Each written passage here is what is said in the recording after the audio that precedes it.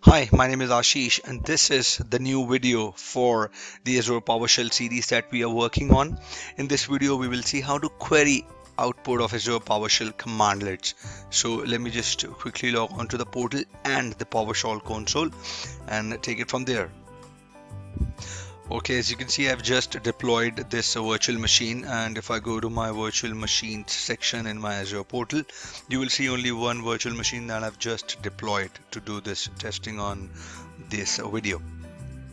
So I go to my PowerShell console, I log in using my login Azure RM account commandlet. You see I have this is my account, this is my subscription pay as you go, this is my subscription ID, tenant ID and the environment which is generated by the Azure console at the backend. As we all discussed in the previous video that PowerShell commandlets are a combination of verb dash noun. So uh, let's query the Azure RM VM that we have created. Get Azure RM VM let's see.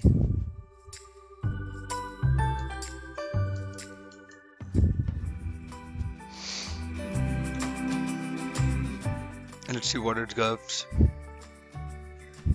I only one VM okay. So it says my resource group name is test Azure new my name of the VM is test Azure win location is central India VM size is standard DS1 V2 OS type is Windows. NIC provision inside zone is succeeded and test Azure win NIC 695 with the rest. So let's say I want to get uh, get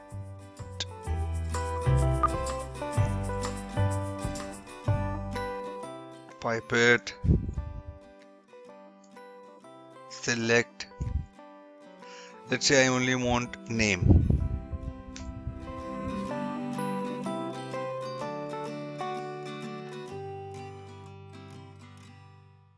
Does not give it I'm sorry I made a mistake. I minus name is not the parameter. The name is the property of the VM that I'm calling here.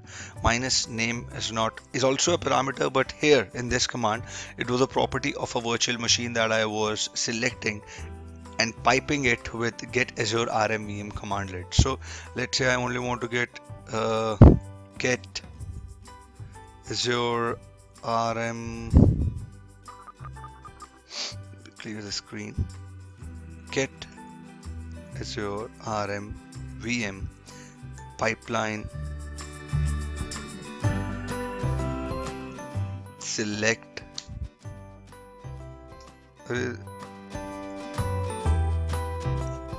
resource group name. So now it will only give me the resource group of that VM and if I select the location it'll only give me the location. So that is how I can use the PowerShell commandlets to query the Azure. Now let's see what it does give. Let's say I want to know the OS type you see I have the OS profile property it says Microsoft Azure Management Compute Model OS profile but I want to know the OS type let's see it is blank OS type is a nested property inside some other property. So let me just copy paste the command. It says select name. Name would give me the name of the virtual machine and the name. And I'm defining a parameter at variable at name equal to OS type. The expression would be it is stored under storage profile.os disk.os type. So it is a nested property in the JSON template. So I click yes OS type is Windows. That is how it gives me this OS type property. There are certain properties which are not available by default, but it, they are available in the nested version of the JSON template.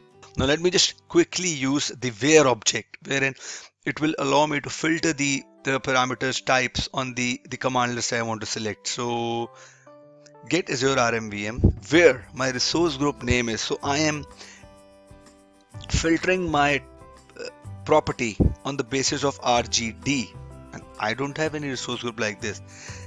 Now what will give you it will pull up the result of this file pipeline it where the resource group name would be like RGD star. I'm doing a wildcard then print the name of the resource group name then the name of a VM right? So if I hit enter I will not get anything. It will not throw an error but it will not generate any output.